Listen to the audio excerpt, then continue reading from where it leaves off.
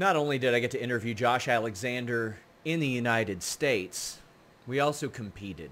Why? Well, because the Fightful champion Joe Pearl mandated that I compete against Josh Alexander with the stipulation of my choosing and have to win in order to get a Fightful championship shot in Canada. Well, see how that unfolds on this video, but you know what? Whether I'm in the States, whether I'm in Canada, I've got NordVPN.com to protect me, and I can be in either one virtually thanks to NordVPN.com slash Fightful. Change your virtual location with just one click. Block online trackers, block hackers, block annoying pop-up ads, block malware on all your devices. I'm going to be taking my phone. I'm going to be taking my, my two-in-one, my laptop, tablet. It'll work on both of those no matter where I'm headed and where I'm traveling. Helps me out a lot on that unsecured Wi-Fi when I am jetting around the, the country. Or even Canada, right? They got three great tiers for you. The tier, uh, the basic tier has just the VPN. One up, you get a pass. One up from that, you get a locker on top of that, and you get access geo-restricted content and services that are not available where you live to unlock all of that geo-blocked content. NordVPN.com slash Fightful. It's time for an interview and a scooter race, my friends. What's up, you guys? Sean Ross Sapp, Fightful, here in Louisville, Kentucky, where Impact Wrestling will be running this weekend. By the time you all see this, we got the world champ. We got Josh Alexander. How you doing? I'm doing good. I'm a little nervous. It is a fantastic rib that I was about to hit you up and say, "Hey, I'm going to be in Toronto next week. Let's do an interview." And then Impact PR says, "Hey, uh, Josh Alexander is going to be an hour from where you live," and I'm like, "Hell, okay."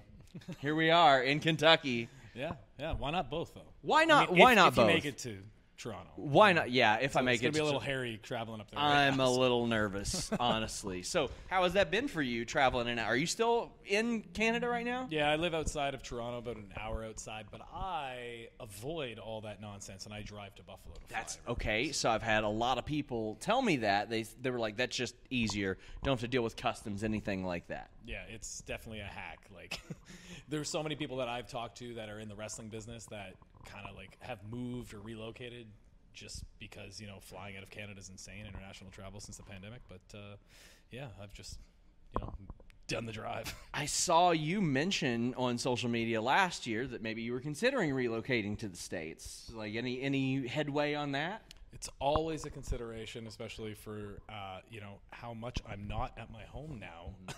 I would love to live somewhere close to like uh, a dedicated hub for Delta, so I get direct flights and stuff like that. Because these connections from Buffalo are killing me. But uh, you know, it's always on the table. Never know. I moved to Lexington and I was like, "Oh, cool! I'll be near three airports: Cincinnati, Louisville, Lexington. Everything just goes through Cincinnati. Nothing's going through Louisville or Lexington anymore. It's a real bummer." But uh, in the past year, I had mentioned this to Jordynne earlier. Travel's obviously picked up. How has that been for you?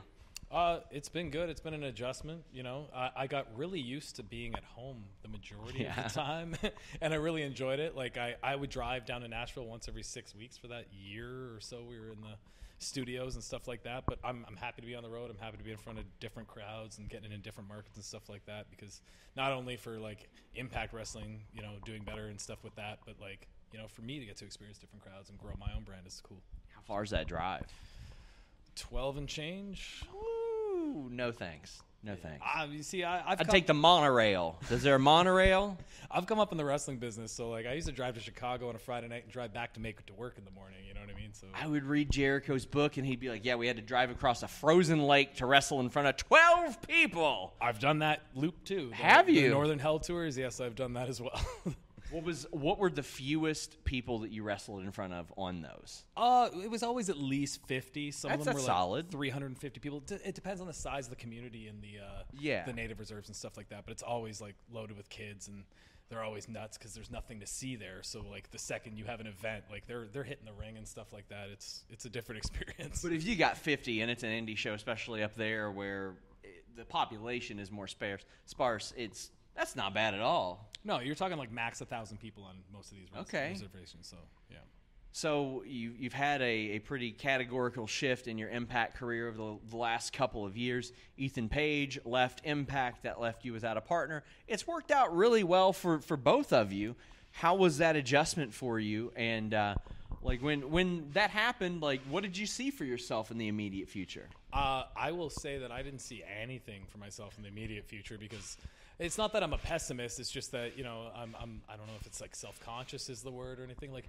I've been in wrestling long enough to know that you never get your hopes up for anything because you you know you'll be let down the majority of the time. So, uh, but luckily, you know, uh, both myself and Ethan Page were very decorated singles competitors on the independents throughout you know all over North America. So I had a lot of experience wrestling really good wrestlers at that time in a singles capacity. So when I got the opportunity, I could make the best of it, and that's all I've been doing is trying to be consistent and delivering every time since then. So. Now, around the time that you, you spent a little bit of time away from Impact, your, your name was being brought up on AEW TV in, in reference to him as well, like them saying, We signed you to get to Josh Alexander. Did you have a heads up on that? Did you know that was coming, and what was your reaction? No, no. I looked at my phone at like eight o'clock on a Wednesday night, and it was blowing up from everybody. Be like, "Did you know this is gonna?" happen? And I was like, "I had no idea." And like, it was kind of like, I think serendipitous is the word that like everything was happening with Impact at the Yes. time. So it was just like it was planting these weird seeds that just you know built the buzz machine a little bit more. But uh, no heads up. It's cool to hear if it's true. You know, awesome. But like, yeah. I mean, that's nothing but positive buzz right there because they're sitting there and they're saying, This guy is very valuable. We would like to have him. However, Impact was able to secure you, re sign you. What was that like for you? Because, I mean, the free agent period now is a whole lot different than it used to be. Yeah, the, I think the whole business changed kind of midway through the pandemic for all of that stuff. You know, with the influx of AEW and stuff like that. Just like there's a lot of jobs out there, but then Ring of Honor shutting down and stuff. Like it's always like this ever-changing thing with being a free agent. It's stressful, especially for someone like me who it took 14 years to get signed anywhere and to get any real notoriety. But uh, like I always wanted to be with Impact Wrestling. I knew that I had unfinished business here. Like, even though I didn't think anything was possible out of my singles career, I had people like Jordynne Grace and you know Santana of LAX telling me I was going to be a world champion since the moment I got here. So, you know, I, I do owe Santana a steak dinner though. He bet Do you? he- the night before he left Impact, we were hanging out and uh, like just to say goodbye and. uh he said, "I bet you a steak dinner that you're going to be world champion before your first contract's up." And I was like, "No, wait, take that bet all day long." And I still owe him steak dinner. So Technically, it did happen. Yeah. It did happen. So, how? What is your reaction when you find out putting this title on you? And not just that. I mean, it's one thing to have the moment, but I thought it was really good and how it built to another moment. So Mm-hmm. you get multiple of those, and we, we've seen that in the past where you sort of parlay that thing that somebody deserves so much into an even bigger crowning thing. Uh, how was that for you when, when you find out that that's what's going down? I mean, initially, it's excitement and it, it's all this stuff like it's unbelievable. You never thought this was going to happen, and, and you can't wait. And then you realize all the pressure and all the responsibility that comes with it, and that weighs on you a little bit more. So it, it was just uh, it's like a weird transition period of being like, I gotta. If I was working hard before, I gotta work even harder now, and I gotta I gotta be more dependable and more consistent now. So, like now as champion since Rebellion, like the amount of pressure I feel is insane. Not only to deliver in the ring in the main events after these stack shows following like the likes of Mike Bailey and oh, Deonna yeah. Purrazzo and all these people that are going to tear it up all the time, but like I'm representing the company and I'm also representing this locker room that's full of people I love and respect. So you know it's something I take very seriously. Now you're in an even more high pressure situation. How many watermelons do you think you can crush with your legs in seven seconds? I can crush more watermelons than Jordynne Grace with my legs in seven Doing seconds. It today. It's Dude, gonna my happen. quads are way bigger than yours. No, they're not. Yes, they are. Let's have let, let, an bring her optical over here illusion. on camera. Well, let's get the wide shot of this. We're gonna have a quad off. I don't think it's fair because I have pants on, but you can already tell that mine are bigger. I don't- Excuse me. It's an He's got optical some big- illusion. look, he's flexing them too. Yeah, you So see. Hers she. are. She's basically wearing compression pants though. Like those are meant to keep the quads in, right? yeah. So, uh, I see your your Hitman shirt. You ever met Bret Hart? I have met Bret Hart. I was actually on a show with him a few weeks ago. So. Nice. I interviewed him, and I was like, you know what? It's going to be awesome. I'm going to get the most positive Bret Hart interview ever. And I was like, I was like, let's talk about Al Dandy. I love that promo. And he's like, yeah, I loved it too. I would have loved working with him instead of Goldberg. I was like, Amazing. Yeah. I was like, tell me about the best sharpshooters. He goes, it's a lot easier for me to tell you the worst sharpshooters. I was like, I love it. What was your experience with Bret Hart like? Uh, I actually I haven't spoken to him a lot other than like you know paying my respects. when He I was like, love your work, would love to see you instead of Goldberg. Yeah. no, the first time I met him, I was going out, or it was early on in my career, and I just went up to him and was like, hey, man, you're one of my heroes, you know, blah, blah, blah. Like, yada, yada. And he goes, oh, thank you. And he goes, uh, what was your favorite match of mine? And I was just like, uh, you and Stone Cold Steve Austin at WrestleMania 13. He's like, yeah, I get that one a lot. And he goes, and he just like, what, what was what was your favorite part of it? And I just kept going and kept going, and he kept asking me questions, and he was just like, oh, why'd you like that? And this, and we talked about like the psychology of it and stuff like that, which was really cool to me. That he just took, you know, 20 minutes out of his day to just shoot the breeze, which is sweet. He's a fascinating guy. Uh, did you grow up in Toronto, around Toronto? Yeah. What is it about that area that you do you think that cultivated such like such a boom in talent? Because I mean, like, listen, there there are big cities all over the world, but there are a couple places like Cleveland and Toronto, especially, that seem to develop talent like at an advanced rate. for me specifically, uh, there's, it's a two part. When I started wrestling, we used to have a wrestling commission in Ontario, and Yeah. it shut down. Thank God. So my first year in wrestling, I had over hundred shows.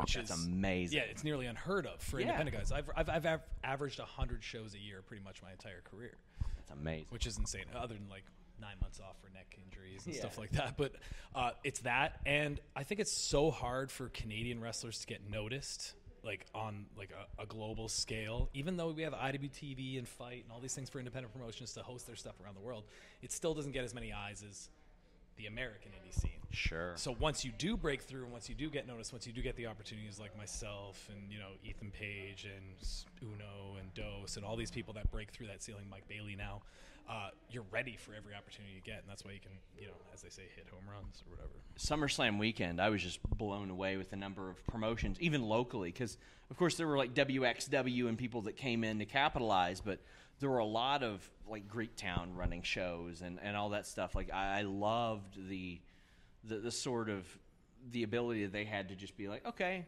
well we're running. Actually, I saw I saw her in Toronto. She came and saw us in Toronto. You're not paying it. She she uh, had a giant rubber head of me. It's amazing. It's amazing. Haven't I seen that head? Probably. Yeah, you've been there too. Yeah, okay, you've been to that studio Okay. too. There you go. So, um, like, I thought that was a fever dream for a second. I wish it was. I wish. I wish my boss was less obsessed with my face. That would that would be fantastic. But, like, what what do you think could even uh, sort of cultivate talent more in a place like that that has plenty of it already? Is is or do you just kind of keep it as is? Uh, I'm not trying to pat myself on the back here, but like Okay. I, I think anybody like myself who does go on and make a name for themselves somewhere else, being able to come back and give back to that scene is very important. It's something I've tried to do a lot because when I started, it was people like Eric Young and Bobby Roode and all these other people that had just left the independent scene and they didn't really come back. It was like once every like five years they'd come back for maybe an independent show. Me, I'm trying to get back like at least once every you know three months for something so that you know I can try to get more eyes on the scene at least, so like the next generation of people get noticed a little bit easier. I noticed one name you left out, and I'm going to assume it's malicious. Why didn't you mention RJ City as one of the greatest technical wrestlers You know, in the world? Listen here, okay? When RJ City started, he was in a tag team called uh, the Wild Stallions. He came out with like multicolored gear and tassels and all this stuff. He was like a throwback hairbands gimmick with a guy Yeah. named Joey Valentine. And he's going to be so upset I'm talking about this, which is partially why I'm doing it. But the first time I wrestled him in like 2007, he came up to me and said, "Can we just chain wrestle like World of Sport the entire time?" What? because I know because Josh, I know you know what World of Sport is. I know you like chain wrestling. I know you like technical wrestling. Can we just do that? And I go, why? He's like, I love doing that. That's all I enjoy doing. So that's what we did. And look at what RJ City has become. Look, I'm surprised you didn't say. I want to do it like Hackenschmidt, like Hackenschmidt. Yeah, uh, I saw a tweet that Jordynne Grace put out that said that no wrestlers from the 2000s, no wrestlers from the 2000s could hang with RJ City Yeah. in the ring, and I said, yeah, I think I think you're right. You ask, ask John about. I'm gonna ask Josh about John because you didn't ask me. What, what about John? I asked you about John. I like John Tenta. Uh, John Tenta, listen, that's when haircuts were men. He was 26, 26 in the WWF with that skullet. Yeah. Why, don't- why don't you do a skullet? Me, because my wife would divorce me, and I'm very happily married. Listen, That's listen. why I don't have a mustache as well. If I could grow up to be like John Tenta, I would. I mean, that guy looked 40 as hell when he was there. When he was squashing that snake, he was 27 then. it, it blows my mind. It's amazing. Uh, a good Canadian boy as well. Mm-hmm. My gosh, why wouldn't you take after But him? yes, John Gresham, in my opinion, is probably one of the best wrestlers. Oh I've yeah. ever ring with. I I uh, used to watch his I think it was Octopus Academy videos, and then I would run downstairs, grab the camera woman, and be like, "Let me try this. Let me try this." Loved it. Loved it. The slow nod from behind the camera. the slow nod. Sorry. As you made your return to Impact Wrestling, you had uh, quite the entrance. Not not to the ring, to the building, Josh. yes, Was it this hotel? Uh, it was not this hotel. Okay. You rode a bird scooter Mm-hmm. to the venue. Please tell me, how did this come together? Uh, so I was supposed to be hidden. Obviously, I was a surprise. I wasn't supposed to show up to the show for call time. I was Yeah. supposed to show up after it started. So I'm just sitting in my hotel room, and I'm like, oh, it's you know 8:15. I might as well head over. It's 15 minutes away.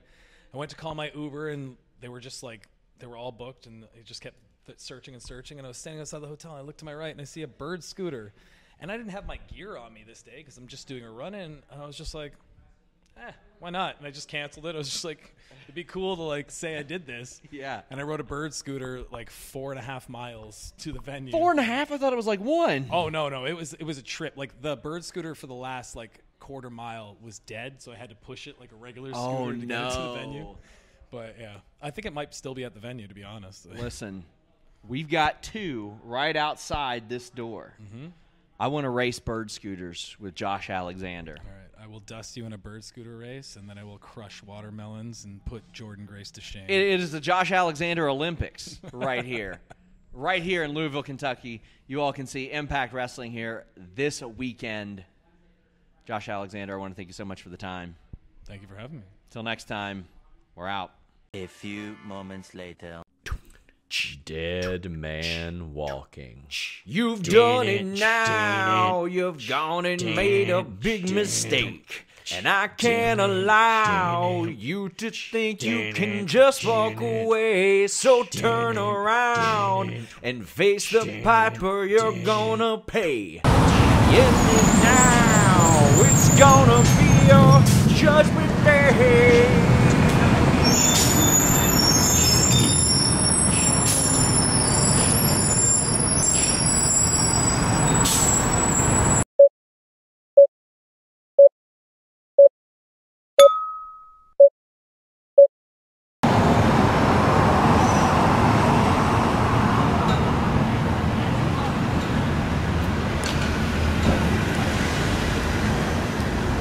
With one shoe! With one shoe, I beat Josh Alexander. Unbelievable.